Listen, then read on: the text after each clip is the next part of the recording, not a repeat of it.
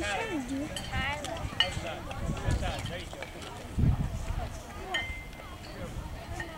ready, Cameron?